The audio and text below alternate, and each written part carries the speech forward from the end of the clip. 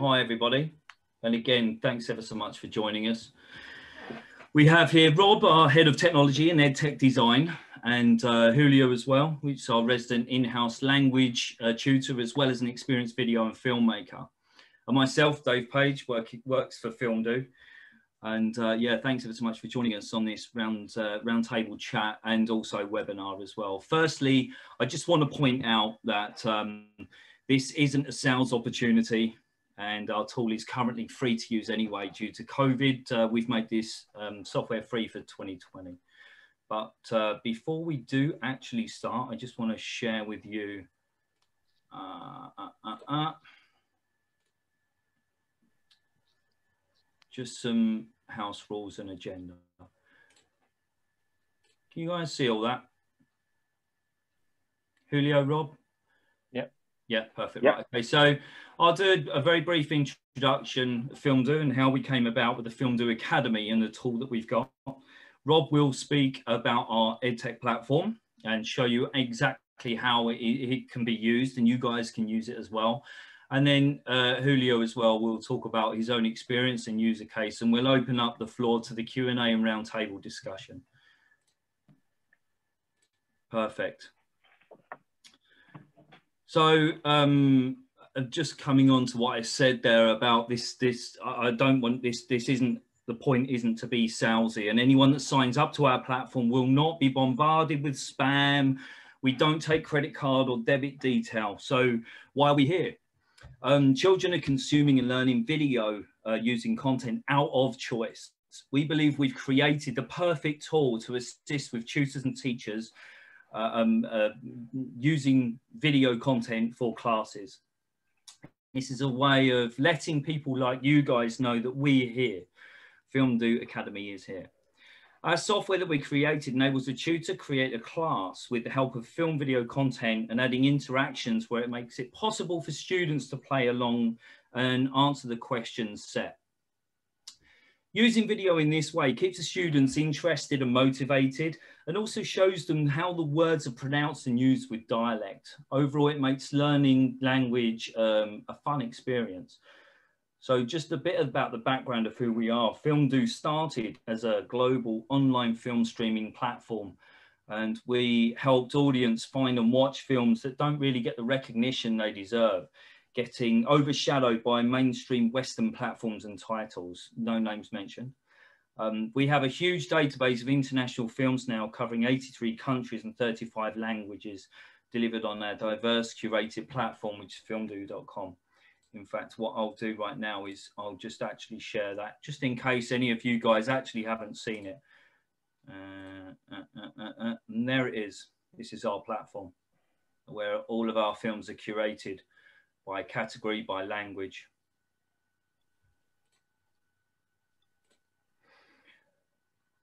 Um, this means as well that we're perfectly positioned to be able to bring a groundbreaking new way of learning a language, which um, is with our interactive tool using film. We've created a dedicated platform where tutors can build a course and language learners can play along in their own time with our demo games. And uh, I won't actually show you that website. I'm sure that Rob's going to show us that right now. So I'm going to hand over to Rob. So Rob, the floor is yours. Okay, thank you very much, Dave. I'm just going to share my screen, assuming I have some kind of permission to. You should now have my screen in your view.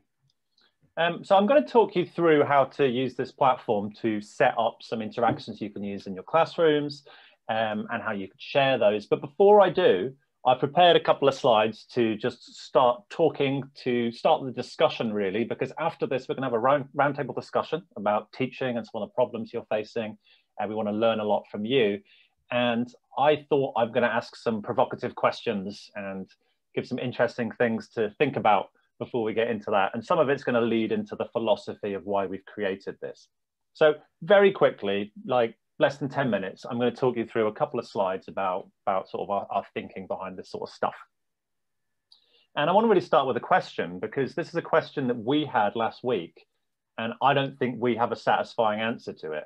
So this is a great thing for us to lead into the, the roundtable a little later because I would love to hear your response. That was, how do we measure engagement? And I think that's really interesting now that we're all online talking via these Zoom calls, because if I was in a room with you all now, I reckon holistically I can read the room a little bit and I can spot who's on their phone because they need to be and who's on their phone because I'm boring them. And then I can adjust my lesson a little to, to kind of meet that. But it's also interesting because we're in a place between education and technology. We're in ed tech. And one thing I noticed is that the word engagement means completely different things to these two groups of people. And that's interesting when we're talking about language teaching specifically, because we love the idea that maybe a word just has one meaning, but I don't think this does at all.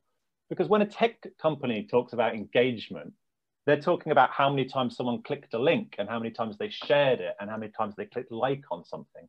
Things which tell us very little about how engaged someone was with that content. In fact, uh, it's almost uh, it's almost a business practice for people to write blogs that are so mind-numbingly boring that you drift off and go and click on the ads at the side or you you click and open up a different article because you're so bored of it. But yet you would have pretty good engagement metrics despite the fact it wasn't engaging.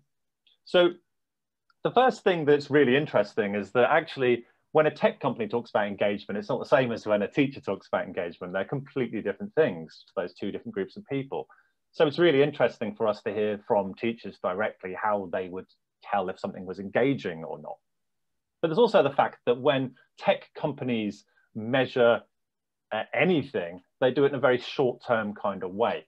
So I personally think stories are really engaging, and I'm going to get to why in a moment. But I've got a story about when I first started teaching that shows the difference between a teacher and a tech company. And that is that like the very first Friday when I was teaching classes, I went to class and I took a big bag of lollies with me to each of my classes. And I said to my students, everyone who's done their homework, I'm going to give you a lolly for doing your homework. And then, of course, I didn't want to let anyone out. So anyone who hadn't done their homework just had to do a different task so that they get a lolly. And then, of course, Monday comes around and every single student's done their homework, of course. And they all come to me and they say, Teacher, I've done my homework. Where's my lolly? Which of course I didn't have. but if I was measuring super short-term metrics like tech companies tend to do, I would say, oh, look, giving students lollipops means they do their homework more. Therefore, that's a good thing to do. And of course, every teacher knows that rewards don't work, as does every manager and every parent, and really anyone who deals with people. But tech companies don't seem to get that. And of course, I didn't give them lollies every single day for doing their homework from then on, but even if I had, they'd finally grow bored of lollies and that wouldn't work. And the other problem is they would then have a certain level of cognitive dissonance in their brains where they're not doing their homework to get into university or to make their parents proud or just for the joy of learning anymore. Now they're doing it for lollipops and which one's going to win out.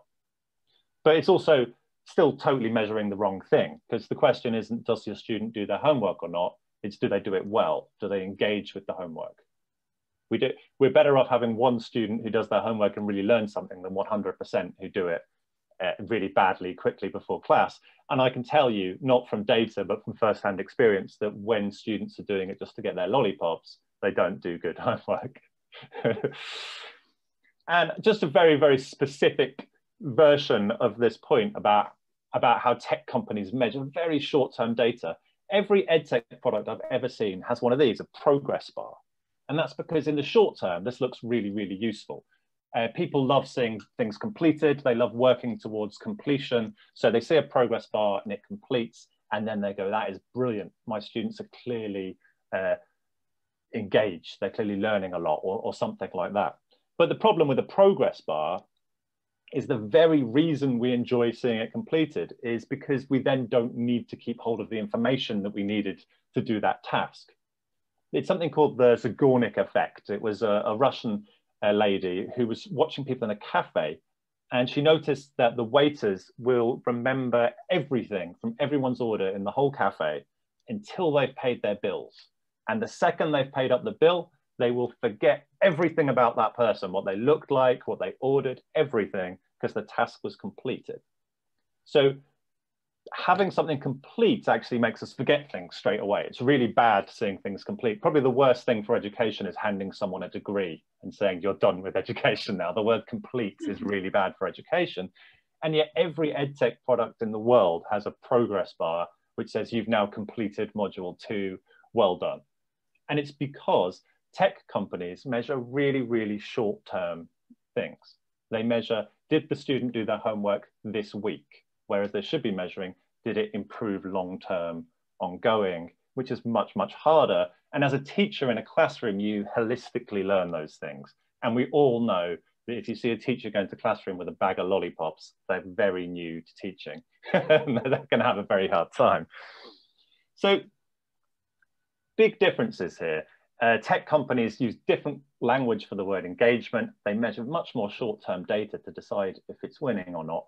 And uh, this is this is another example of a, tech company that I think got it completely wrong. This is a, a US company called BrainCo, and they've made EEG sensors, which are potentially quite useful on their own. You can wear these to see how focused your thoughts are. But they tried this out in a school in China last year, and the school finally abandoned this idea because they didn't like their data uh, getting out there. But the students each would wear an EEG sensor with a light on the front, and then the teacher can see it turn from green to red if they lose focus. And then their parents can see a readout for the day and all this sort of stuff. So they know if a student's not focusing. Now, the, the first obvious problem with this is the EEG sensors are really inaccurate. And if you just pick up the bad headset, you're going to be grounded that weekend, even though it wasn't your fault uh, and, and they haven't been collaborated recently, there's going to be some other problems. But the other thing is that, that these headsets aren't measuring engagement either. They're measuring focus, which isn't really interesting to us. In fact, for learning, we need both. Uh, some of you have probably seen Professor Barbara Oakley. She's written the book uh, A Mind for Numbers, and she's got the best-selling course in any subject online, which is Learning How to Learn on Coursera. Uh, but she's also very well explained these two different types of thinking, focused thinking and diffuse thinking. And she's got this great example with a pinball table where focused thinking is when your brain bounces around a very small, very specific part of your brain when you need focused thinking. And diffuse thinking is where you are making bizarre connections across neurons in all different parts of your brain, and it's bouncing around the place. Now, psychologists call this system one and system two thinking. Neuroscientists call this uh, your central executive network and your default mode network. Uh, but she calls it focused and diffuse thinking, which I think are, are, quite nice. And I think we can kind of relate to these two things.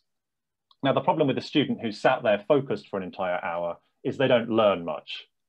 Focus is very good for doing a task. A task might be assimilate this one thing into your brain, but once it's in there, you need to stop and you need to daydream for a minute. You need some kind of diffuse thinking time which is why we come up with good ideas in the shower or when we go for a walk, because that's when our brain is making new connections. And when we are trying to learn something, it's all about novel neural connections, especially our language, because it's so illogical, right? so we ideally need people to be unfocused for part of a class. They need to stop, daydream, do some different activities so that they can have these bounce around in their brain. And actually, something like emotion is really, really valuable because um, uh, emotions use light up such large areas of our brain. This is some brain scans of people watching a movie. And if same thing happens if you read a story to someone. If somebody is watching a movie, they genuinely feel the emotions of the characters on the screen. People see a stressful situation and it actually gives them cortisol, they actually feel stress themselves and they see a joyful uh, experience and they actually get oxytocin. They actually feel more empathy for the person. This weird thing where we watch a film or hear a story where it hijacks our brain and we actually feel the same things as the character. Now, I would say that's a good measurement of engagement. I would say that's proof that stories are engaging because we can see the person literally following along with the characters in the story. Now, further to this, there's this guy called Steve Krashen, who uh, back in the, I'm going to say 1970s in New York, he noticed that the people who learned language the fastest weren't actually people going to language classes, but they were just people who got a lot of input. And he had this theory and did some tests around how you can learn a language with just input, just input alone, not going to a class, just listen to the radio and watching movies and that kind of stuff. And whilst some people agree with him. I don't think we can agree completely, especially because we've probably learned a lot about teaching in the last 50 years, and maybe his experiments don't still hold up. But the other problem that I think is if you are just watching films, despite the fact that it's like the most engaging thing your brain can do, which is brilliant for learning, brilliant, especially for something like diffuse thinking, where we, we, we want to be in that state of mind for learning a language. Uh, and that kind of input is possibly one of the best things you can do to learn a language. We also need to think about some of the downsides, like why do edtech companies keep putting those progress bars in? It's because we get a little dopamine and we feel like we're progressing even if we aren't. The amount of people we spoke to who use Duolingo and learn absolutely nothing, but still use it because they like getting the little buzz every day, get a little dopamine hits because they think they've learned something, which you don't get with a movie. Actually, it feels kind of stressful because it's hard to follow a foreign language film, even if it's the most useful thing you can be doing. So our philosophy at FilmDoo really is that what about if we couple the thing that's best for language learners with the thing they want to do? What about if we add those kind of Duolingo style interactions in throughout a film so they get this direct contextual input that Steve Krashen says is the best thing for learning, but they regularly get dopamine hits too, so that they feel like they're learning whilst they actually are learning. So that's my little introduction to some of our philosophy and our thinking. And I've got a few slides there. And we're going to go to a roundtable in a minute. I would love to hear some of your thoughts on some of this stuff. I would love, especially, to hear you disagree with some things I've said, because this is some of the philosophy we're taking forward for our designs. Uh, now, before we do that, though, I'm just going to demo this product that we've got. And if you go to filmdoo.academy, you can come here and try it out yourself tomorrow. And I'm just going to really quickly talk you through how to use this. This is very much a, a beta version at the moment. As Dave said, you can currently come here and use it for free. And we are massively developing this out at the moment. So it's going to have lots more features soon. Now, if I click on sign in in the top right, um, I can click create account here, and that's going to let me create a new account straight away. So I'm just going to write Robert FilmDoo, and I, I don't think there's currently an account associated with that. It's going to choose me a username, but that's perhaps a little bit too, uh, too generic and that's probably already taken. And I'm going to choose a password. And that's created me an account. It's also taken me straight to this page, filmdoo.academy slash fd hyphen rob, which is, or underscore rob, which is my new username. And at any point I can click my courses and come back here. What you'll notice is there's nothing on this page right now. Sorry. There's nothing on that page right now. And that's because I haven't created any courses yet. Now, a course is going to basically be a video with questions over it, a film with questions over it, and the students are going to watch it together and answer questions. I'll show you exactly what I mean in a second, but first I'm going to create it and then we can see it in action. Now, uh, if I click create new, I'm going to get a video from YouTube and I've chosen a short Spanish film right here, reasonably at random. Uh, and I'm going to paste that into this box. Now, FilmDoo is a video on demand platform with a massive collection of foreign language films. But currently we're using free films from YouTube because we are giving you access to this tool for free and we don't uh, currently have we don't currently want to be paying all the content makers for using their film whilst they're using a free tool. Uh, we'll also be adding some features to help you find the content that's useful to your level, has the certain grammar points in that you need. But for now, you're going to have to search YouTube yourself. Now, once I put that URL in there, it's going to take me to this screen here, and I'm going to skip this walkthrough because I'm going to walk you through right now, but you can watch that yourself later. And if I click cut video in the top left here, I can drag out the start and end time so that I can just use a section of the film. Maybe I don't need the whole thing. Maybe I'm going to set a different section for homework later. Uh, maybe we're going to watch it over a couple of classes. So I'm just going to choose this six minute section here. And then I can click edit questions, this tab at the top here. And this is going to let me, uh, any place where I'm watching the video, I'm going to be able to stop it and hit add a question. And it's going to bring up this little authoring screen where I can write in my question straight into the screen. Just write question one there. And it says A and B. Obviously, in reality, I'd be a little bit more imaginative with the questions I'm asking. And I'm going to select uh, question A to be the correct answer. And, and I can now continue. And you'll see I've got a little orange line on the, the play bar here. So I can come back and edit this question when I want maybe I realized it came a little bit too soon, so I can change the time there. Just move the question back for a second. Maybe the question's not on screen for long enough when the students are playing the game, so I'm gonna make it last for 20 seconds instead. Now, we have experimented with some different interactions that the students can get when they are working through these videos themselves. For now, we've kept it real simple and just put um, multiple choice questions in there. And the reason is because it works really well with their existing mental models. You don't have to explain too much to your students uh, the first time you play. They understand getting a multiple choice question on their screen, but we're also toying with maybe there's an open-ended question and they type it out and then see each other's responses. Maybe there's drag and drop and, and fill in the blanks and, and different kinds of discussions, all sorts of different interactions we can add. And we'd love to hear your, your suggestions for that. So I can add as many questions as I want in here and I can click save and that's going to take me back to this screen, which is for some reason not loading. Um, I'm just going to show you a different page because my new page is not working. And that would take you to a screen like this with all, all my kind of classes on it that I created, um, uh, which would allow me to then go in straight into to play a game. So if I was in a classroom with some students right now, I could click play now on this first video, and it's going to give me a QR code.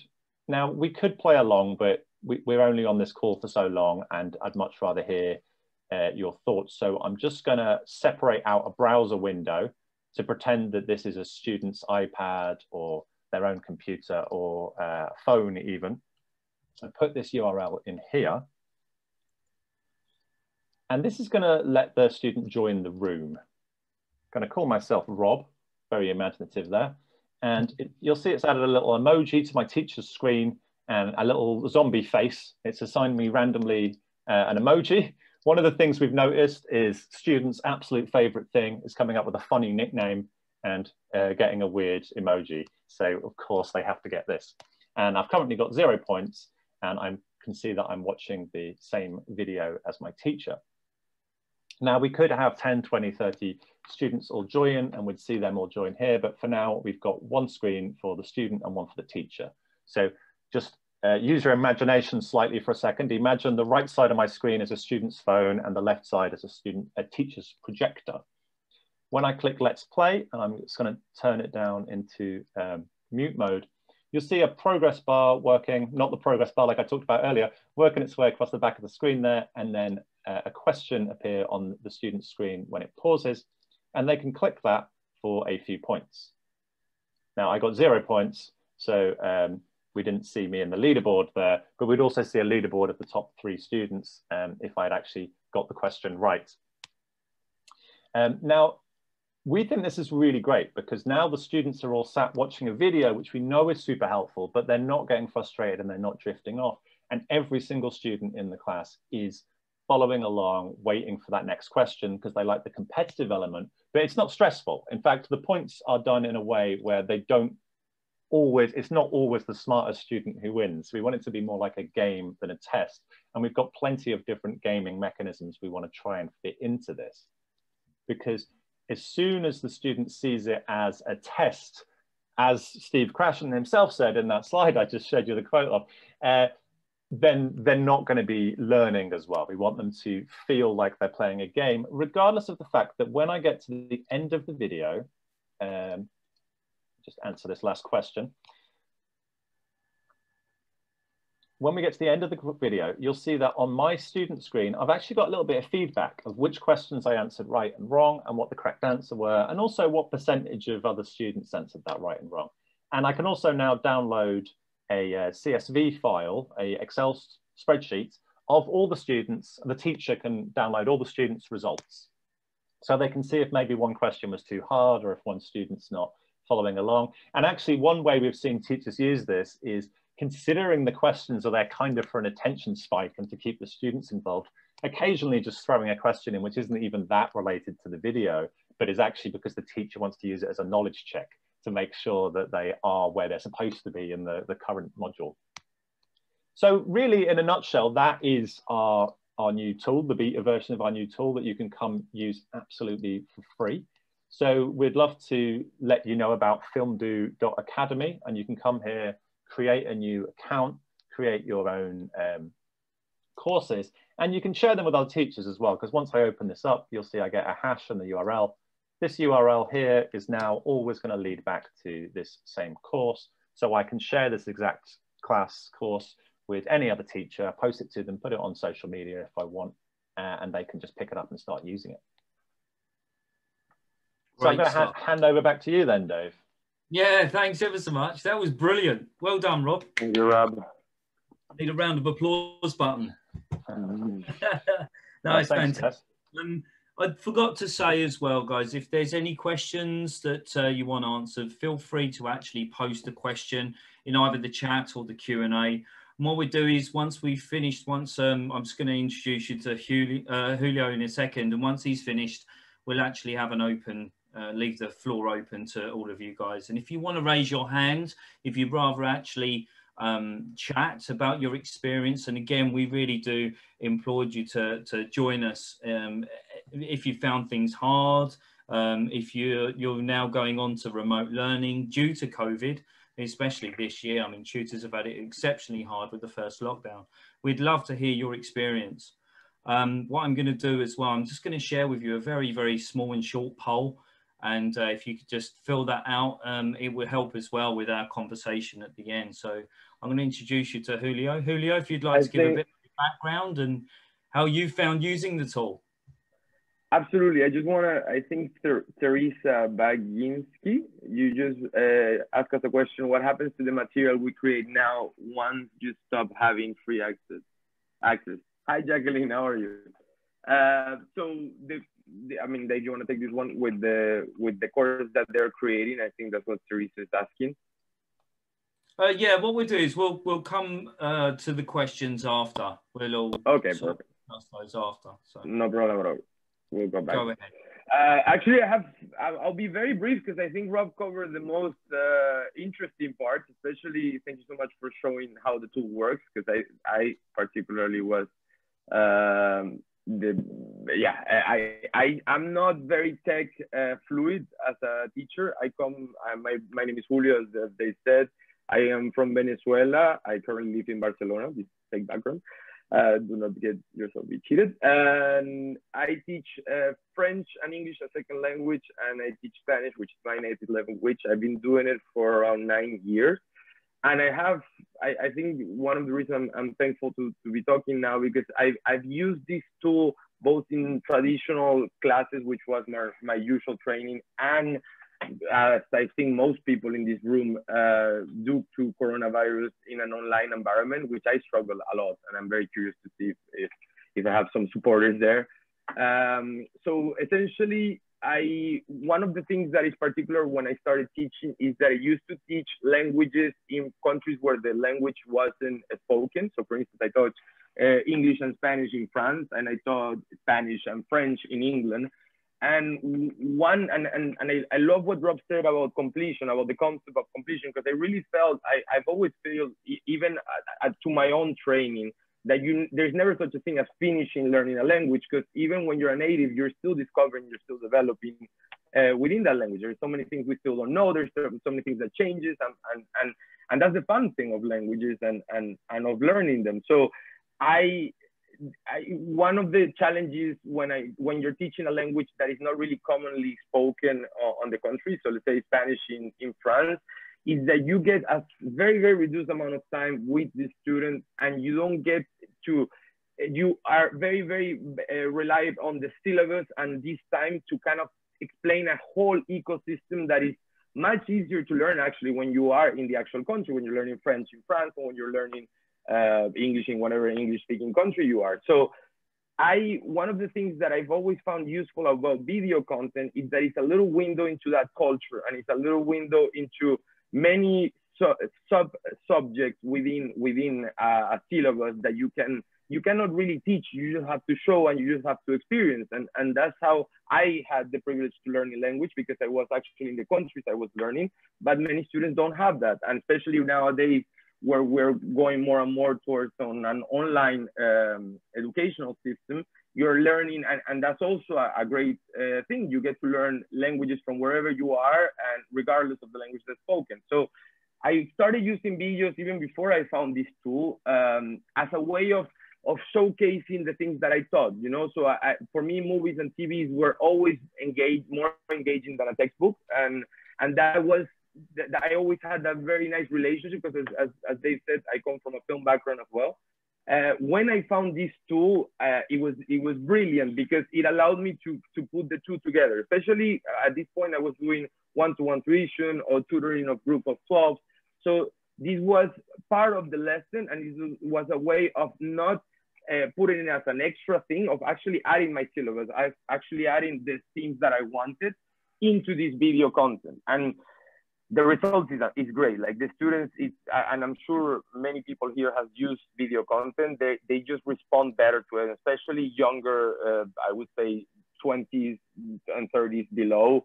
They're just so used to uh, being on the internet. They're so used to consuming content. So when you add that very, very sneakily to your, your theme, when you're teaching prepositions or when you're teaching uh, a grammar subject that perhaps is a little bit more dense to understand, you are showcasing one, the actual uh, um, uh, language tool being used in a, in a day-to-day scenario.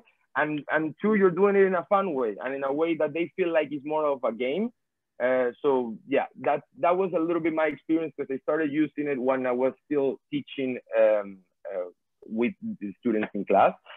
But then COVID hit and we have to go into online mode. And that was a very, very particular challenge for me because as I said, I'm not very tech uh, fluid. Uh, luckily, this, and, and, and I'm sure we've all experienced uh, now with these platforms of Zoom and Skype, it's, it's much more user friendly than it used to be. And, and I, I found a very nice um, uh, relation with using, with using, let's say, Zoom and this tool. So two, I mean, I'll, I'll, again, Rob said covered most of the things that I wanted to, to, to say, but yeah. uh, but what one of the things that I think is really interesting as as pros when you're teaching um, uh, languages with this tool is that you get to showcase slang a lot, and a lot of students, and this is very particular to whoever where, where does your student come from and what type of language you're you're teaching, but there's quite a lot, at least of my student base, that wanted to learn it more of a touristic uh, goal. You know, they wanted to learn it because they wanted to travel to Spain and they wanted to be able to communicate. So I call that like, let's say, the soft language learning, where they're not really interested. They are interested in the grammar. They need it because they want to learn the language, but they're not. They're not doing it for proficiency tests. They're not doing it for for career. So uh, this is great because again, it's a much more fun and engaging way of teaching it, but also slang and dialects and common expressions are, are, are, much trickier to teach. And also they change from country to country. So I'm a very big fan of, of, of incorporating this into the language, especially as, as, as a lot of people know, Spanish changes between the countries that you get, uh, that you get to teach in. And I realize that students are really curious to see how do you say um, the, uh, this expression in Chile uh, versus how you say in Spain. And when you play a Chilean clip or you will play a Spanish clip, it's really right there. You have the example, you know? So that's one of the pros that I wanted to talk. Um, for those teachers that do French, and I'm mentioning French, I think this is relevant for all languages, but French is such a phonetic language and it's all about the pronunciation where you can literally make a mistake uh, when you mispronounce a word and, lead, and say something completely different. And actually, French natives are quite uh, strong on this. Uh, so uh, one of the things that I, I, found also really nice is that it, the student develops his listening skill and it's much, much, much uh, detailed, especially because I am not a native uh, French speaker. So it's much easier for them to consume it from a French content that was made and, and talked to by French actors or by, by any type of video. Uh, so I felt like I had a, a second assistant uh, teacher when I was when I was teaching anything that was related to phonetics. Um, a couple of other things, like what Rob mentioned, the the results that was very very interesting for me because you see, uh, and, and we don't have this when you're doing traditional classroom. At least I, I never managed to is to uh, self-improve on, on what type of questions you're doing. And as Rob said, if when you go, go back to his results, because he showed in percentage, you get to know when and, and and we all know our students especially at least me because i have very small classes. So i know them by person. I know what what are they struggling with. But now i also know what i'm i'm making a mistake perhaps on assessing too early. What i need to reinforce as a class curriculum because everybody's failing on the same question and on the same subject. And that's very interesting about the tool um, and one last thing is that it's great for homework because i don't know how you guys do but every time I have these online lessons now because already this online, it means sitting down in your chair. If you have students that are in, in high school or in, in regular school, they've been doing it for the entire day and you are there for the extra hour. Homework is just much more fun if you tell it to them as watch this video. It has a game in it.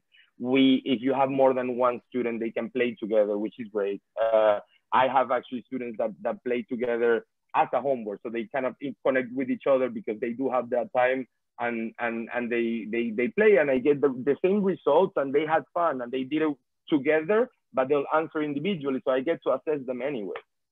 So yeah, those are three things that that I would suggest as a, as a, an advantage, an added advantage of this tool. And yeah. Oh, that's what perfect.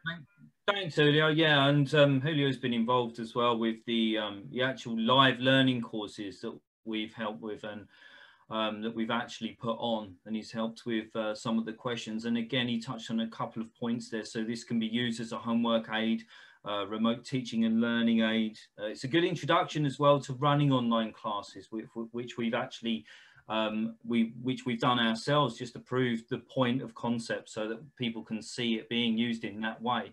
And it's good yeah. to use as a used way of tracking progress of learning as well. Yeah. So again, we'd like to open the floor up. Do you have any other um, language tools that you actually use, and uh, what issues have you had with them, if any? What makes them special? Um, what would you change about them? I notice we've got a couple of questions up there. Um, We've got a couple of questions, but if anyone would like us to uh, speak to them, it's always kind of strange chatting via text. if you, I don't, yeah. I can't remember how to do the raise hand button, but just raise raise your hands and let's get uh, let's get get people involved. Um, anyone that does that as well, just be respectful of others, and anyone obviously not deemed as being respectful will be ejected. So please bear that wow. in mind as well. You've had some problems in the past, huh? whilst, we're waiting, we have got quite a few questions in here. Uh, so yeah. Teresa has asked if you can use uh, asynchronously or how you would, which Julio uh, just talk, talked about a little. I'm not sure if you fully answered, but one thing I kind of wanted to add to that is we have got an option that we've sort of switched off for now for the beta version where you can download a file and install it into your learning management system.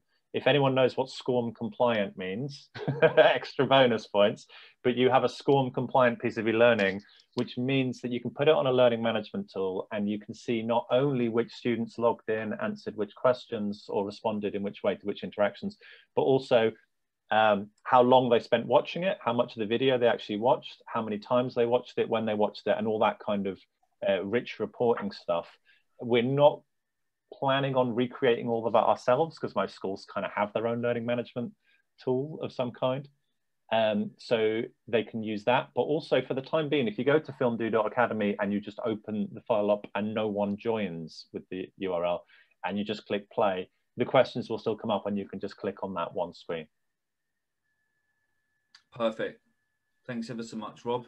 Um, yeah, thanks for the question, Teresa. Well, Again, do we have so uh, Karen has asked, um, do I have to use the FilmDoo films or can I use uh, YouTube and Vimeo? And the answer is for the time being, you have to use YouTube and Vimeo videos.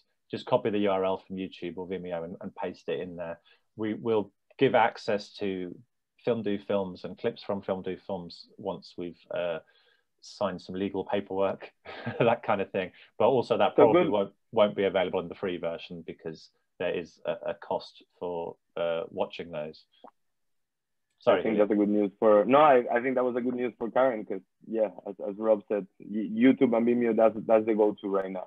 Which is, by the way, I I, I, I just to mention, not a couple of, of cons, but something to, to be aware of is and and that's what I think is is lovely to have this conversation, and we want to hear from you how you get your content. I can see from the poll that a lot of uh, of you create your own content, and that's fantastic.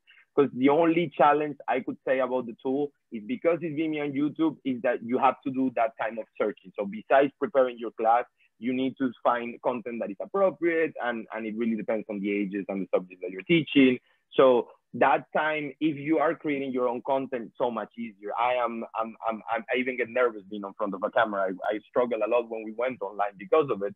But, uh, but if you are doing it, and I see most of you actually create your own uh, virtual lessons and, and video content, fantastic. You, you just need to upload it, as Rob said, to YouTube and Vimeo, and you're good to go. And you can add as many questions and you can adapt it as, as you want. Absolutely. I mentioned the poll there. I'm actually going to share the results with everyone. So um, it's uh, quite an eclectic group there. A lot of uni teachers, huh? There are actually, yeah, yeah, yeah, yeah.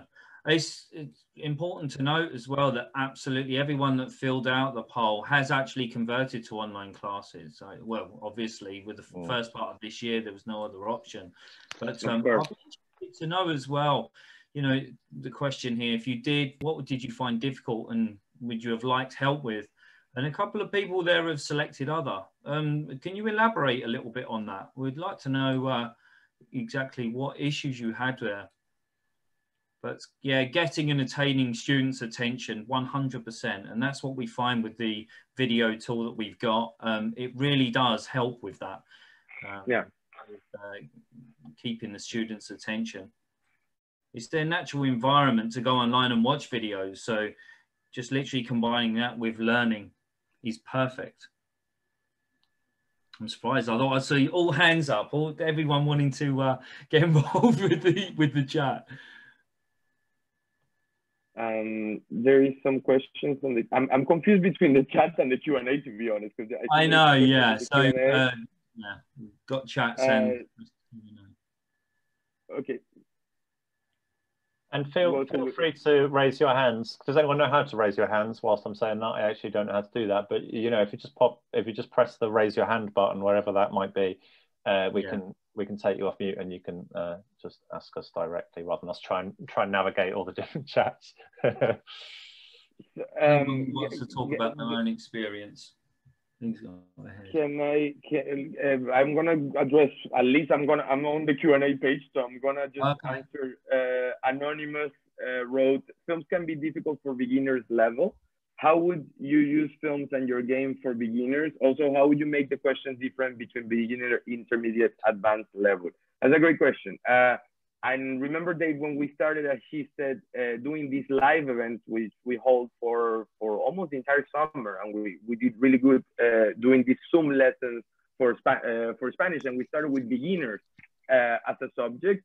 It really, the, the cool thing about the versatility of the tool, and first of all, we, so the very, very first thing when you're doing beginners is that you put subtitles in the language most of the time, especially when we did it for live, we went with English subtitles because we that's the language we were assuming people spoke, uh, or at least they knew better than Spanish.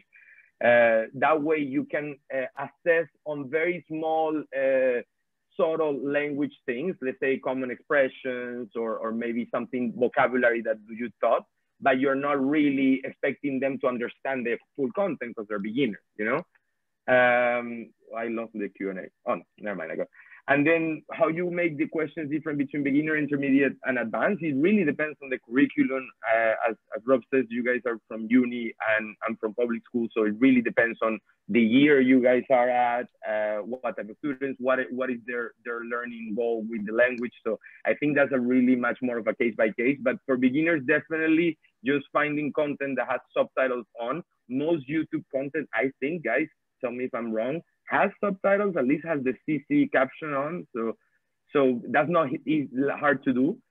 If you are creating your own video content, you might have to add it on. Uh, I, again, I use video, Vimeo and YouTube that I don't create, so I don't have that issue. But, but yeah. Yeah. No, that's uh, great. Heidi, I love the fact that uh, you've answered your own question there. So, can the uploading of a video take a long time? She's literally using it right now because I'm answering my own question. no, it doesn't take a long time. It, uh, it, He comes straight straight from it. Yeah, yeah. So it's not it's not uploading the video from YouTube. It's still embedded from YouTube. We we aren't um, taking a copy of it. I think there might be some copyright issues if we did. yeah, It works on top, works over the top of it. So yeah, um, we've uh, had uh, Cameron. Uh, yeah, so uh, okay, so an issue. I think this is uh, from the question earlier from you know and, and other if you like, from the answer. So there's some port from admin, frozen funds, etc., and lots of changes at uni. 100%. Yeah, there, has been a huge amount of changes this year, and I'm expecting the same again next year. But there, there are some funds that the universities and schools and colleges can tap into, and um, uh, we are having conversations with schools and universities in ways in which they can actually fund our tool so if there is someone that um, you have that we can talk to at the school uni, please do email us or forward that information and we can have a conversation with them and maybe get our tool um, used inside the school or university, in your school university. Yeah, that's that. Actually, I think that really applies to everybody who's working for an institution. It's we, and, and I'm doing it the same with the tuition company I used to work on. It use it yourself first try it out, please, by all means. And, and then if you actually like it, there is no reason why it cannot be adapted to any curriculum or any syllabus. You know what I mean? And I really put this to test with different type of students and they, they, they came from different places and some of them were private and some of them were, were from this tuition school. And if it works and you you prove this this admin department that, that it does and you're comfortable with we are more than happy to do that conversation and, and to have them try and to have other colleagues of you try that's another thing because the tool is free feel free to share uh, karen especially with with your your teachers and and, and fellow colleagues because that maybe be a strong muscle to say hey we've all used this and it really seems to be working uh, if that's the case i would say yeah perfect um, Rob, I think this one because you're more Edpuzzle. The I, I currently use uh, Edpuzzle in my class. How is your tool different from Edpuzzle? Because I've never used Edpuzzle. so interestingly, we we had never seen it before until about a year ago when uh, people started telling us about it, which is interesting because we've gone a, a, a similar way. But the, the, the big obvious thing to mention first is that the whole purpose of FilmDoo getting involved in this area is that FilmDoo currently has one of the largest collections of uh, licensed uh, foreign language video content online. So the premium content is a big thing. A big issue is if you're going to use the YouTube videos, and we'll probably add some kind of feature that gives you an alert if this happens, is you are using a video that you don't own the content to and someone can take it down at any point. we don't really want that to be an ongoing problem for people to, to be using it. So a big thing is, is, is the content and we have some backend stuff that we haven't rolled out yet around analyzing that content to give you a much better idea about which video is best to use for uh, which class. We, we're very specifically looking at language learning rather than just adding interactions to videos.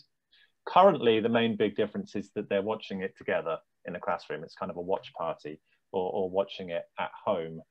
One thing, when we very first started talking to people about learning languages with films, the biggest thing straight away was I, I don't sit at home and watch a film on my own or a short film or anything obviously if you set your student homework on Edpuzzle, then they have to, but are they are they enjoying it? That's the question when they're forced to. Whereas um, watching in unison, and obviously we do have a homework feature, but being able to still do the homework in unison if they want to arrange it with their friends uh, makes it more enjoyable for people. We've especially noticed a, a thing where people set a video for homework, and what happens is students watch it at the very last minute before they have their next language class. it's just actually a, a, big problem I've heard from language teachers is the whole point of having homework is you do it at some point between classes to refresh your, your mind, not the second you go back in, but uh, di di different story, I suppose. And um, moving forward, the whole point is that we're also looking at different interactions we can, we can add. So currently we might just have those multiple choice questions, but we're very curious, uh, especially from you guys, is what interactions do you think are going to be most useful for learning languages? We've had some crazy ideas like you could get the students to like dub the scenes themselves and get points on how accurately they dubbed it, things like this. We don't want to add it all in there yet because it makes it a bit too complicated when people use it the first time. And there's 15 Absolutely. different interactions. Yeah, and I, I, guess that's kind of the point that we're looking at for your you guys. You know, your feedback. The tool is free, but we, all we ask you to do is some feedback with it. So, what would you like to see on there? And like Rob says, we did have some other interactions on there, but um, the more it gets, uh, you know, kind of, uh, I think it's starting with multiple choice, and then adding on some other interactions that people definitely definitely want, they're going to respond to and use, is just a better use of our time and development. Um, we've had a message from Dana. Hello. Yep, I'm going to put you on, allow you to talk. Hello. Can you hear me? Dana, welcome. How are hey, you? Hey, Dana. Nice to meet you. Hi, nice to meet you too. Um, I think I might have a few questions, but I'm trying to figure out how to phrase them. Um, the first thing, the first thing is I'm I'm an ESL teacher. Um, but I'm also a regular teacher. I work with um, students from K to five here in, in New York. And so I, I have a business that I'm putting together starting and I'll be kind of teaching both aspects. And so I wanted to see um, if there's any uh, material that I could use just for regular, you know, regular students of mine, um, aside from the ESL language learning students. Like, do you have like um, do you have like uh, content that I can use with students of that age, young children? How how was the range of age? Um, so What's this would be like range? five to let's say up to maybe ten years old. Yeah, we're we're literally um, attaining content for that age range right now. Mm-hmm. Um, we what we do is we we allow people to um, find their own content using the free uh, tools such as YouTube, YouTube, sorry, and Vimeo. Mm-hmm. But we don't specifically have any on our site that you can use with this software. So you can find own, your own content or even your very own content that you've created yourself. You might have uploaded to YouTube. You can mm-hmm. actually use our tool with that. And again, um, we've made this tool for free. Mm-hmm. Um, yeah. so uh, Dana, if you want, because as, as, as, as Dave said, that's something that, that we're currently working on is to, to make that catalog a little bit more robust. For the moment, especially if you're in an urgency, we, because we did this Spanish class and I need to see for English because I don't have one at hand, but we have a small uh, uh, pool of tutors like myself that have been working with this tool. So we are in a group chat and we can ask them around in terms of what type of YouTube and Vimeo content that is currently out there could be useful for that age. Because I don't teach that, I don't teach English for that age, so I don't really know. Uh, mm-hmm. but we can definitely reach out because we have people that are using tools with more or less that age range. It's always, I mean, because it's YouTube and Vimeo, it, it takes a little time, but it, it's not that hard from my experience, I think, uh, to, is to find uh, young animated and, and especially short clips. Because one of the things at least in my experience with the tool, is that short form, short films, short video content works better than a film as for the student and for the teacher because it's just less time to create the course. You you do with 10 or 12 minutes and i think that's what they're currently focusing on with the the films they're acquiring. So i'll, I'll we'll definitely chat around. I think dave has your email and we'll send okay. you some ideas because yeah. Mm-hmm. And karen you thank you so much for for for your message. I think i don't know if she's still here uh, no, she left, but she left. She wanted to say that that she wants to get uh, the University of Colorado uh, involved, where she works. So we'll contact her later. Absolutely, yeah. Thank, thank you, Dana. Thank you. Thank you. Yeah, thanks. So uh, appreciate that.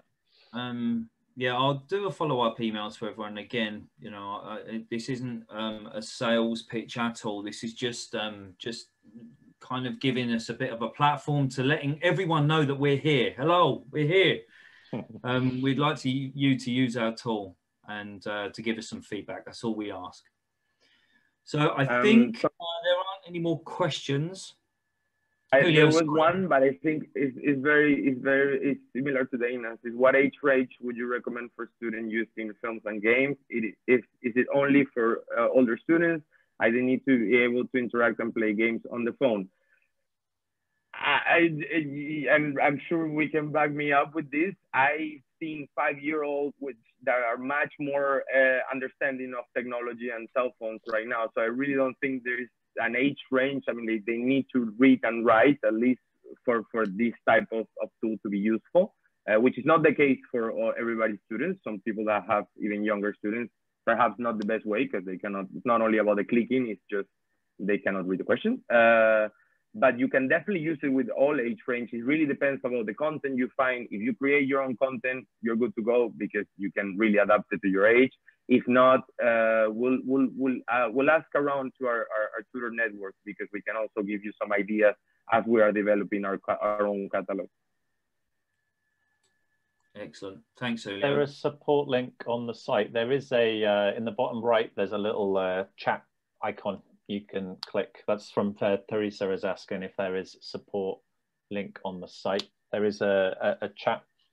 Um, do we have a? I assume there's a contact thing at the bottom or something. Yeah, yeah, there is. Yeah, um, yeah, there is. What, what I'm going to do is I'm going to I'm going to follow up with an email, so um, you'll be able to email me directly as well. So if there are any questions, any further questions or I queries? I think Dana has one. Sorry to interrupt you, Dave, but uh, no, that's, that's fine. That's okay. If you can, oh, we can, I can unmute her as well. Uh, Heidi has asked if we would consider using audio clips like podcasts, and I just quickly wanted to update that yeah, we'd consider.